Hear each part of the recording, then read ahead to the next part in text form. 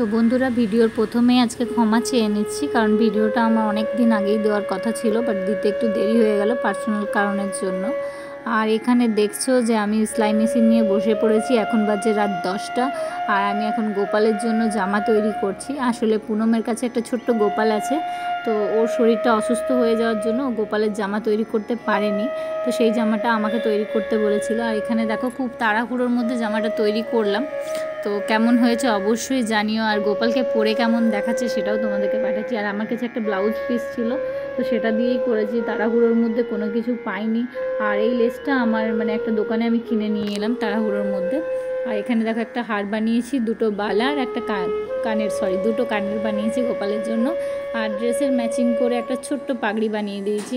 আর কিছু আরও অনেক কিছু করার ইচ্ছে ছিল, কিন্তু টাইমে ওভাবে আর করতে পারিনি, কারণ পুনম আমাকে বিকেলে বলেছে, আর সন্ধ্যের মধ্যে বানিয়েই আমাকে ওকে দিতে হচ্ছিল, তো সেই জন্য।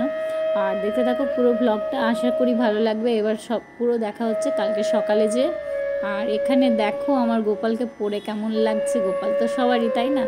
তো কেমন লাগছে অবশ্যই কমেন্ট করো। দেখো গোপালকে পড়ানোর পর পুরো আমাকে ফটোটা পাঠিয়েছিল, তো সেটাই আমি তোমাদের সঙ্গে শেয়ার করলাম। তাহলে চলো দেখা হচ্ছে কালকে সকালে। হ্যালো বন্ধুরা, গুড মর্নিং। কেমন আছো তোমরা? সবাই আশা করি খুব ভালো আছো, সুস্থ আছো, ভালো থেকো, সুস্থ থেকো। আর সবাইকে শুভ জন্মাষ্টমীর অনেক অনেক শুভেচ্ছা। আর যাব প্রিয়াঙ্কার বাড়ি, ওখানেই পুজো করব। আর তার আগে বাড়িতে একটু পুজো করব। এখন দেখছেন স্নান করে জাস্ট এসেছি। আর জাস্ট শাড়িটাই পরেছি, আর কিছু করিনি। নর্মাল একটা শাড়ি পরেছি, কারণ প্রচণ্ড বৃষ্টি হচ্ছে বাইরে। ভিজে যাব পুরো যেতে যেতে। তখন থেকে ওয়েট করছিলাম যে বৃষ্টিটা কমলে তাহলে বাইরে বেরোবো। কিন্তু সেটা তো হচ্ছে না, বৃষ্টি মনে হচ্ছে না যে কমবে। তো সেই অবস্থাতেই বেরিয়ে যেতে হবে বলে একটা নর্মাল শাড়ি পরে নিয়েছি। আর চলো সন্ধেবেলা ড্রেসটা চেঞ্জ করব। আর আজকের ব্লগে অনেক রকম চমক দেখতে পাবে তোমরা, অনেক কিছু দেখতে পাবে। তো সঙ্গে থাকো আর দেখতে থাকো পুরো ব্লগটা তো এখানে দেখো, আমি জামা প্যান্টগুলো প্যাক করে দিচ্ছি গোপালের। বাবাই নিয়ে যাবে, নিচে পুনম দাঁড়িয়ে আছে। আর এখানে আমার বাড়ির পুজোও হয়ে গেছে। তো দেখো, আমার গোপাল, এটা ছোট্ট একটা প্লাস্টিকের গোপালের মূর্তি ছিল। তো তাতেই পুজো করেছি। যেহেতু বাইরে থাকি, তাই খুব একটা ভগবান রাখিনি। তো আমি রেডি হয়ে গেছি, এবার চললাম প্রিয়াঙ্কার বাড়িতে। আর ওখানে যেয়ে তোমাদের সঙ্গে দেখা করছি। চলো তাহলে। এখানে দেখো প্রিয়াঙ্কার বাড়িতে চলে এসছি আর এসেই বসে পড়েছি পেড়া নিয়ে। কারণ প্রিয়াঙ্কা পেড়ার মানে যেটা পেড়াটা তৈরি করে, তো সেটা তৈরি করে রেখেছিল, এবার দুজন মিলে পড়ছি আর এরপর দেখো আমি বসে গেছি তাল মারতে। আর আমরা দুজন মিলে প্ল্যানিং করেছিলাম যে এক জায়গাতেই পুজোটা করব। তো দুজন মিলে হাফ হাফ করে পয়সা দিয়ে পুজোটা করার প্ল্যানিং করেছিলাম। তো সেটাই হচ্ছে, ও সমস্ত মার্কেটিং করে রেখেছিল। আর সকালবেলা আমি যেয়ে তাল কুড়িয়ে নিয়ে এসেছিলাম, আমি আর আমার হাজব্যান্ড আর আমাদের গাড়ির ড্রাইভারও একটা তাল দিয়েছিল।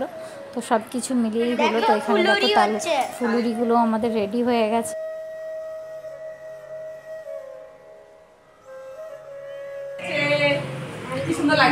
হ্যাঁ কতটা ফুলুরি হয়ে। গেছে না আনুষ্কার ফেভারিট ডিশ বিউটিফুল লাগছে। আনুষ্কার ফেভারিট ডিশ আমারও খুব ভালো লাগে। এখন বসেছি চা খেতে। প্রিয়াঙ্কার বোন আমাদেরকে চা বানিয়ে দিল। তাতে চাটা এনজয় করে। খুব সুন্দর বানিয়েছে।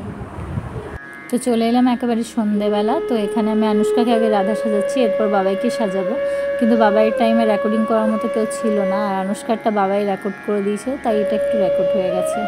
আর এখানে আমি আর প্রিয়াঙ্কা ওদেরকে সাজানোর পর সমস্ত ঠাকুরের প্রসাদগুলো সাজিয়ে নিলাম। কারণ এগুলো পুজোতে নিয়ে যাব আমরা এক্ষুনি। আর এখানে দেখো প্রিয়াঙ্কার বোনও আমাদের সঙ্গে হেল্প করছিল। আর এইভাবে করতে করতে এখন বাজছে প্রায় রাত আটটা। কিন্তু কীভাবে যে দিনটা কেটে গেল বুঝতেই পারিনি, উপোসটাও লাগেনি। খুবই ভালো মজায় কেটেছে। আর এখানে দেখো আমার নটখট গোপাল, ও ঘুরে বেড়াচ্ছে। আর আমাদের প্রসাদও প্রায় সাজানো হয়ে গেছে, এবার বেরিয়ে যাব মন্দির। তো বন্ধুরা, আমরা এখানে রেডি হয়ে গেছি, এবার চললাম মন্দিরে। আর দেখো এখানে প্রিয়াঙ্কা বোনও রেডি হয়ে গেছে। কৃষ্ণা, রাধিকা, কেমন লাগছে অবশ্যই জানিও। তো আমরা চললাম মন্দিরে। আরেকটু আগে চল।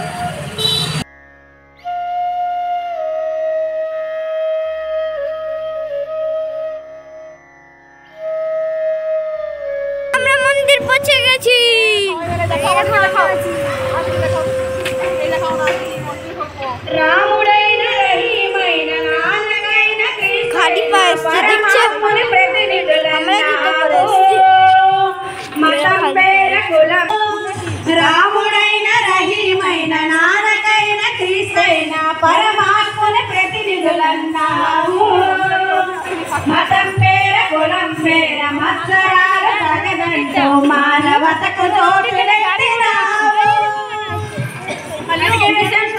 మాకు కరుణ పంచిన তো বন্ধুরা চলে এসেছি মন্দিরে পুজো করতে একদম আর খুব ভালোভাবে পুজোটা হলো ভালো লাগলো ভীষণ আর ওখানে পুরুত ঠাকুর আর ওনার যে স্ত্রী আছেন দুজনেই খুবই ভালো, খুবই ভালোভাবে আমাদের সঙ্গে ব্যবহার করে খুব সুন্দরভাবে পুজো দিয়েছিলেন। তো আর এরকমভাবে আমি জন্মাষ্টমী লাইফে প্রথমবার করলাম। কারণ আমি ছোটোবেলা থেকেই দেখে এসেছি আমাদের পাশের বাড়ি কাকিমার বাড়িতে পুজো হতো আর আমাদের বাড়িতে পুজো হতো জাস্ট ঘরোয়া পুজো। এভাবেই জন্মাষ্টমী করেছি আর উপোসটা আমি অনেক ছোটোবেলার থেকেই করি জন্মাষ্টমীর উপোস। কিন্তু মানে এইভাবে পুজোটাই প্রথম দিলাম, বেশ ভালো লেগেছে। আর দেখো, আমার ছেলেটাও খুব এনজয় করেছে। আর আমরা যেহেতু ওদেরকে সাজিয়ে নিয়ে গেছিলাম, তো মন্দিরে সবারই খুব পছন্দ হয়েছিল। ভীষণ ওদের ফটো তুলছিল, অনেক অনেক ফটো তুলেছে। আর ওরা আবার মানে রোববার দিন ওদের একটা কম্পিটিশন ছিল, তো তার জন্য ওদের দুজনকে আবার সাজিয়ে নিয়ে যেতে বলেছিল। এইভাবেই খুব ভালোভাবে কেটে গেল আজকে জন্মাষ্টমীর দিনটা। আর এখানে দেখো কি সুন্দরভাবে কৃষ্ণ ভগবানের একটা মূর্তি রেখে তার চারপাশে ফুল আর প্রদীপ দিয়ে কি সুন্দর একটা রঙ্গোলি বানিয়েছে, বেশ সুন্দর লাগল। তো তাই ওটাকেও একটা নিয়ে নিয়েছিলাম ক্লিপ তোমাদের সঙ্গে শেয়ার করার জন্য। আর এই ভিডিওটা যদিও আমি বানাচ্ছি না প্রিয়াঙ্কার বোন বানিয়ে আমাকে খুব বড় একটা হেল্প করে দিয়েছে। তো সেই জন্য আর এখানে হচ্ছে গোপালের যে মূর্তি বিগ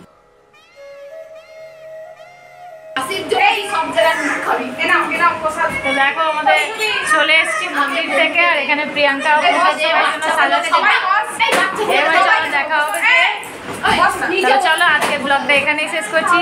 আর আশা করি ভিডিওটা ভালো লাগে যদি ভালো লাগে তাহলে লাইক শেয়ার সাবস্ক্রাইব করতে ভুলো না। এই টাটা বললে ব্লগ শেষ করছি। প্রসাদ দিচ্ছি তোমরা দেবে এসো। সবারই জন্য প্রসাদ রইল।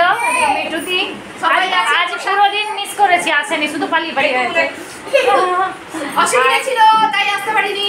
না বাজারে গেছিল অনেক কাজ ছিল। সেই জন্য হ্যাঁ বলা যাবে না।